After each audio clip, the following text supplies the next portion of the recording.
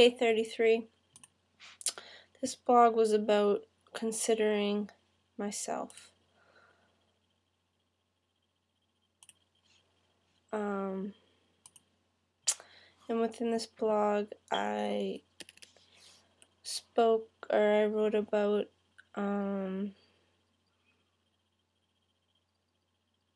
considering myself within all that is here within this physical world and how I have been existing and seeing myself within this point of being better, higher, more than, let's say, the animal kingdom, the insect kingdom, the oceans, the marine life, um, nature in general. And based on this acceptance within humans of, you know, seeing ourselves more than these life beings or these, you know, natural beings in this world, they are life beings, of course. Um, you know, the animals, the trees, um, the oceans, and, you know, even insects. When you see an insect and you you know, get all grossed out by it and you go and swat it and kill it, or you just swat it and like it, you know, walks along, it's not totally dead yet. You know, people like, I've seen people like laugh and say, look at that. Um, it's not totally dead, look at how it's, you know, moving. And it's like, you know, that per- that fly is in pain, it's damaged it's not dead, it's still alive, suffering. So, um, you know, why do we kill flies? Why do we kill bugs? I have walked a, a process with that because, um, you know, you always, within ourselves, we always just thought, you know, we can just kill bugs. It's, they're just bugs, they're tiny little things. Um, but I looked at the point it's like, why are we actually killing bugs? Like, because of fear, because they're annoyance, um, because they're supposedly dirty and gross. And, you know, all those points, they're in fear, annoying, gross. So within seeing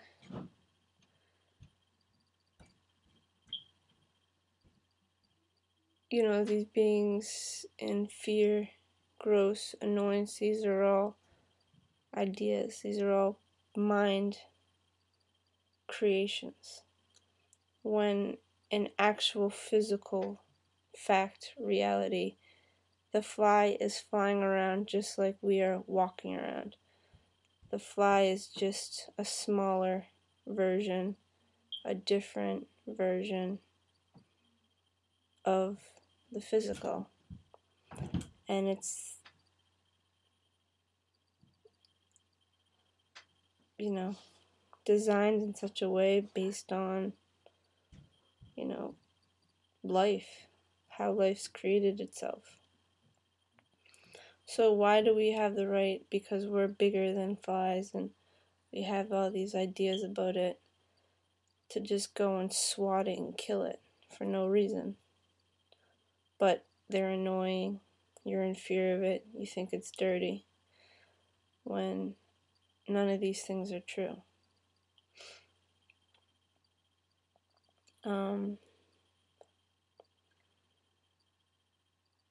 and the we don't have a right to kill life like that. I mean, obviously, if there's like, like the other day, a fly, not a fly, but a little bug, like a little gnat bug, flew into my mouth, and I, I like took it out, and I looked at it, and its legs, all their le- the legs was all like screwed up, and I think one of the f- wings was bad. So obviously the bug was, you know, couldn't fly and his his legs were either broken or uh, messed up. So I just squashed it immediately and killed it because it was a better solution for it because it would have suffered if I just left it and it didn't have a wing to fly and it didn't have legs to move.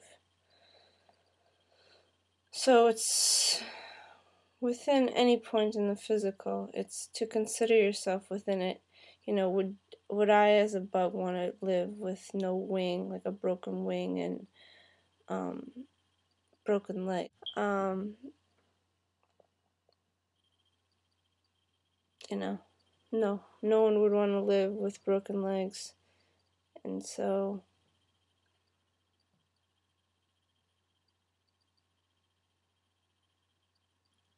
you know, you do what's best for all. You do it in self honesty. Um, so within this blog, pretty much I just walk the points of aligning myself with the physical and forgiving myself for not considering the physical as myself, taking advantage of it, and um, seeing it as less than me and that I can just take it for granted and take advantage of it and not consider that it's actually physical life that is being taken. And it has its own equilibrium. It has its own balance within itself as nature as the animal kingdom as any point of life. There's a balance within it and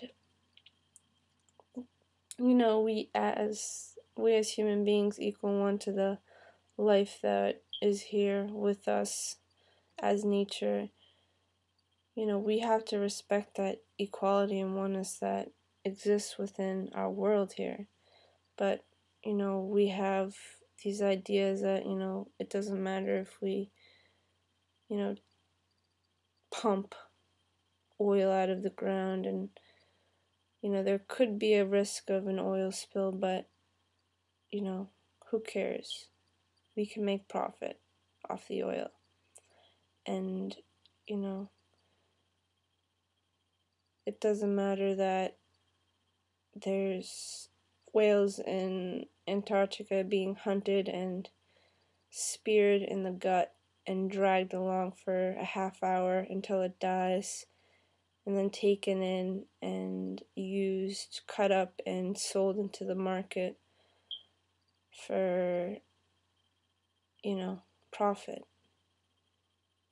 While all the other whales are sitting around and they do it they kill them in such a way where the air the whales can't you know they have to come up for air so they wait for it to come up for air and then they go up alongside it and the whale can't you know the boats are much faster than the whales, so they can't get away, and they shoot him through the gut, through the side with a spear, and just they just drag it along and just let it die. And that's every point where there is profit to be made off of animals, off of nature. This is what humanity does. We just go and consume and consume and destroy it because we don't even consider um, we don't have respect for ourselves. We don't consider ourselves, so we don't consider what we're actually doing. We're just trying to survive here. We're just, you know, doing the best we can to get some kind of money so we can live. And of course, that's based on the world system, the way our world is created and conducting itself between with, you know, systems in place where it's very hard to get money, it's very hard to sustain money. So people, you know, have to survive somehow, so they just do what they can.